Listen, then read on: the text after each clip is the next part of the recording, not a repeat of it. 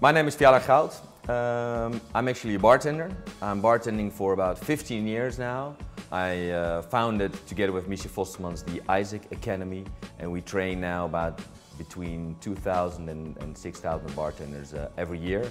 Ice is an extremely important ingredient in all drinks. Bartenders are constantly talking about the shape of the ice, the, uh, the temperature of the ice, the dilution rate, and what, what you want to have actually is ice uh, that is constantly the same. You know, okay, for this drink I need to shake about 8 seconds, for this drink I know beforehand this is about 10 seconds, so um, it is a bit nerdy, uh, about ice, but it's actually a very, very important uh, thing for a bartender.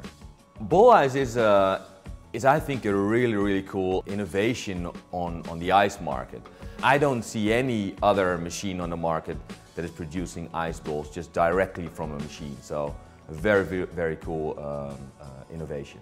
At the moment, uh, we are in the golden age of, of cocktails and mixed drinks. Is expanding all over the world and uh, people really want to have a high quality drink, so ice is an extremely important ingredient.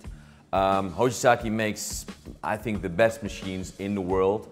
Um, and I'm very curious um, what Hoshizaki will bring to the table in the next coming years of um, making ice.